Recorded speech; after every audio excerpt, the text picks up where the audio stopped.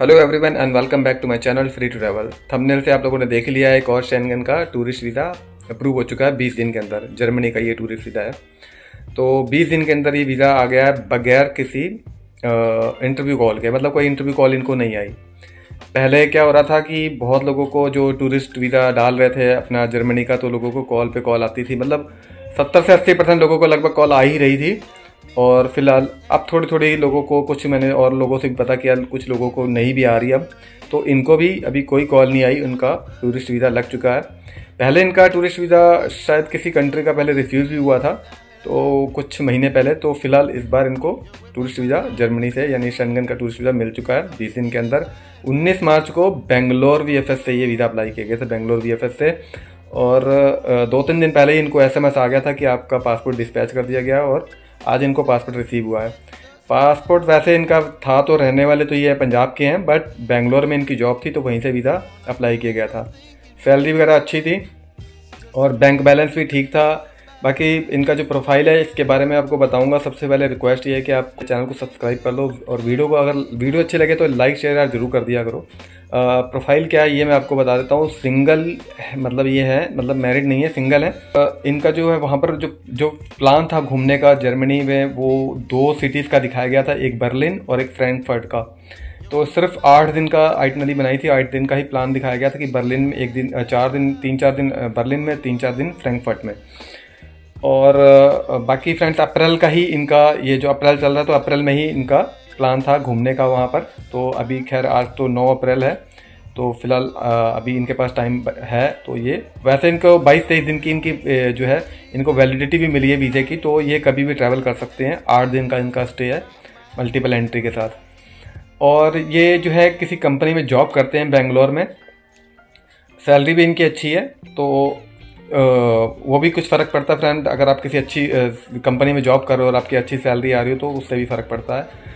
बाकी जो है आई टी इनकी लगभग पाँच लाख से नीचे ही थी थी और कोई कोई टैक्स पेड नहीं थी मतलब। बाकी जो इनका जो बैंक बैलेंस था, वो लगभग चार पचासी था। एक सेविंग्स अकाउंट में, दूसरा एक, इनका एक और करंट इनका एक और सैलरी वाला अकाउंट था, उसमें लगभग डेढ़ पौने दो लाख रुपये पड़ा था। तो दो अलग अलग अकाउंट लगाए थे, क्योंकि एक सैलरी वाला अकाउंट था, जिस, जो मैं सबको बोलता हूँ, अगर आप जॉब करते हो तो सैलरी वाला अकाउंट आप ज़रूर लगाओ। वो तभी तो पता लगेगा कि आप प्रूफ होगा उसका प्रूफ आप कर सकोगे कि भाई इसमें मेरी सैलरी आ रही है।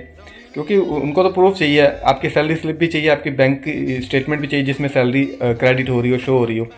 तो इनको जो है सैलरी वाला अकाउंट भी लगाया और सैलरी स्लिप्स भी लगाई है एन वो तो देखो एक रिक्वायर्ड डॉक्यूमेंट्स है, वो तो चाहिए ही चाहिए। तो इसके अलावा इनके सेविंग्स अकाउंट में लगभग वही चार पचासी जो मैंने पहले बताया, वो पड़े थे। लगभग यही अमाउंट इनके अकाउंट में था, दोनों अकाउंटों में। इसके अलावा कोई एफडी कोई कुछ नहीं और कोई दूसरा, तीसरा कोई भी फाइनेंशियल डॉक्यूमेंट अलग से नहीं लगाया गया था।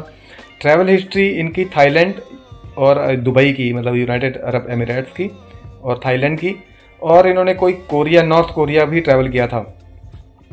इसके अलावा इन्होंने एक, इन्होंने यूनाइटेड यूके गए थे ये, इसके अलावा इंग्लैंड तो यूके भी इन्होंने ट्रैवल किया था। बट यूके के बाद भी इनका वीज़ा शेंगन का एक बार रिफ्यूज़ हो चुका है। बट इस बार लकली इनको वीज़ा मिल चुका है। और जैसे मैंने बताया, ये अनमेरिड है, इस बार इनको वीज़ा मिल चुका है। और इनको मैनी मैनी कंग्रेचुलेशन इनके वीज़े के लिए। शेंगन में मैं आपको दो चीज़, दो कंट्री ही मैं ज़्यादातर लोगों को रिकमेंड करता हूँ। एक जर्मनी एक स्विट्ज़रलैंड तो स्विट्ज़रलैंड कपल के लिए भी बेटर है सिंगल के लिए भी ठीक है। और जर्मनी भी अगर आपको, देखो कभी कभी इंटरव्यू आ जाती तो उसके लिए किसी भी कंट्री किसी भी शेंगन कंट्री की कभी भी इंटरव्यू आ सकती है। तो कभी भी, जैसे जर्मनी की पहले नहीं आती थी, अभी शुरू उन्होंने पीछे कर दी, एकदम करने लग गए। तो पता कुछ भी नहीं होता, बस यही मैं आपको कहूँगा कि आप जब भी शेंगन या किसी भी कंट्री के लिए आप ट्रैवल करने जा रहे हो तो आपको पूरा अपना प्लान पता होना चाहिए होटल्स के नेम पता होना चाहिए।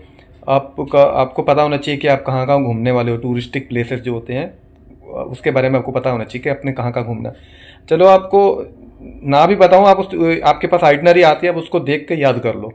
थोड़े बहुत नाम याद कर लो, ऊपर नीचे करके जैसे भी चार पाँच सात नाम आपको याद कर लो।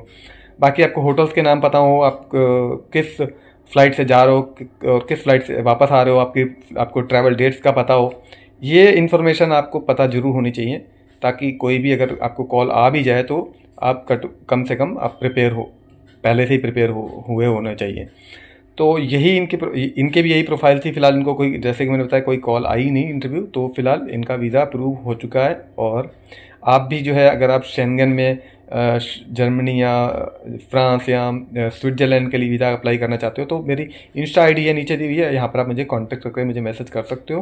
बाकी फ्रेंड्स इतनी ही इन्फॉर्मेशन आपके साथ शेयर करनी थी। मिलते हैं किसी और वीडियो में, किसी और इन्फॉर्मेशन के साथ, तब तक के लिए बाय